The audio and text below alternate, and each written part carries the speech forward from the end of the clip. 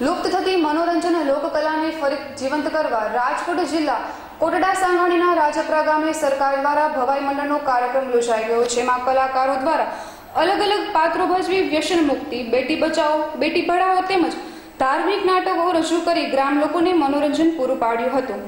અહેવાલ કલ્પેશ જાદવ, કોટડા સાંગાણી.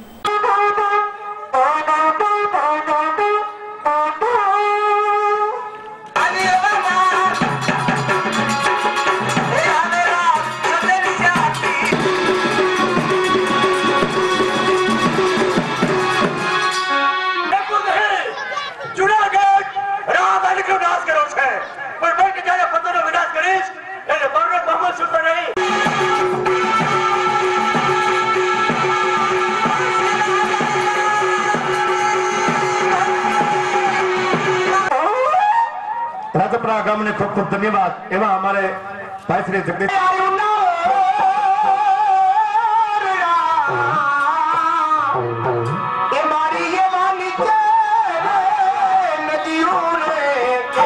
શ્રી કોટડા સાંગાણી તાલુકાનું રાજપરા ગામમાં આજે ભવાઈનો કાર્યક્રમ સરકારશ્રી તરફથી રાખવામાં આવેલ હતો જેમાં વિવિધ પ્રસંગો દર્શાવવામાં આવ્યા હતા જેમાં ખાસ કરીને વ્યસન મુક્તિ તેમજ સ્વચ્છતા અભિયાન ભવાઈ માધ્યમથી બહુ સારી રીતે દર્શાવવામાં આવ્યું હતું. જે ભવાઈ વિનુભાઈ મહાકાળી મંડળ ભાડવા વિનુભાઈ તરફથી આ ભવાઈનો સુંદર કાર્યક્રમ રજૂ કરવામાં આવ્યો હતો. જેમાં રાજપરા ગ્રામ પંચાયતના સદસ્યો, ઉપસરપંચ તથા મોટી સંખ્યામાં ગામ આગેવાનો હાજર રહી અને ભવાઈને માણી હતી. આ ભવાઈનો પ્રોગ્રામ અને ભવાઈ ગુજરાત સરકાર તરફથી ફરીવાર જીવંત બનાવવા માટે આ વિવિધ કાર્યક્રમો જુદા જુદા ગામડે ભવાઈના કાર્યક્રમો કરવામાં આવે છે.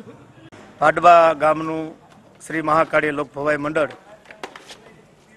લોકભવાઈ અત્યારે છેલ્લે પગથિયે પહોંચી ગઈ છે. પરંતુ આજની, અત્યારની જે આપણી સરકાર છે, ભવાઈને જીવંત રાખવાને માટે ઘણો સહકાર આપે છે. ગુજરાત સરકાર તરફથી કોટડા સાંગાણી તાલુકાનું ગામ રાજપરા રાજપરા ગામની માલિપા લોકભવાઈનું આયોજન કર્યું અને દરેક ગામના આગેવાન ભાઈઓ, બહેનો, બાળકો, દરેક અમારા ભવાઈને ખૂબ માન આપ્યું. તે બદલ ગામનો ખૂબ આભાર માનું છું. તેમજ ગુજરાત સરકારનો ખૂબ ખૂબ હું આભાર માનું છું કે આવી જ રીતે દરેક ભવાઈ કલાકારોને સહકાર આપે અને આ જમાનામાં ટીવી અને મોબાઈલ આવતા નેટ ચાલુ થતાં આજે અમારી ભવાઈ પતનના છેલ્લા પગથિયે પહોંચી ગઈ છે. આજ અમારી ભવાઈને માણવા માટે કોઈ તૈયાર થતું નથી. ભવાઈ જોવાને માટે કોઈ ખુશી થતું નથી.